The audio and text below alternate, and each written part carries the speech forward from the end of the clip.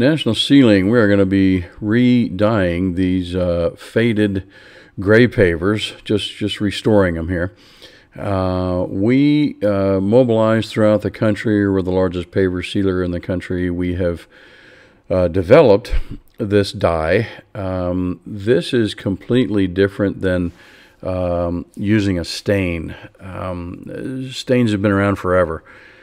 You can pick that up at the big big box stores. Um, however, what most find, and it depends on um, where you're applying this, but let's say it was around a pool, uh, most find that that would be a little slick.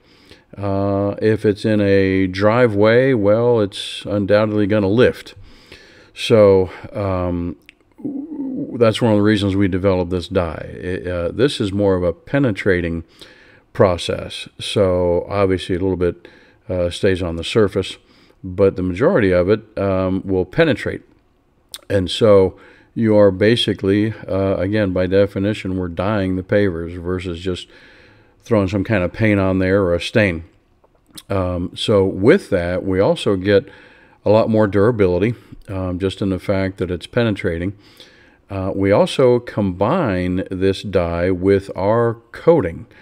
This is completely different from folks that are trying to copy this, uh, putting something in a sealer and throwing that down because if uh, most of you know sealers uh, will only last you about a year. Um, again, we're the largest paver sealer in the country, so we use a lot of sealer.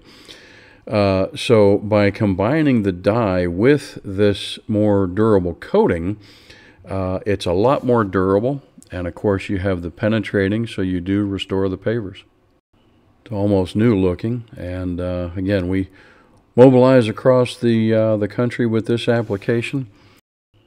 National Sealing.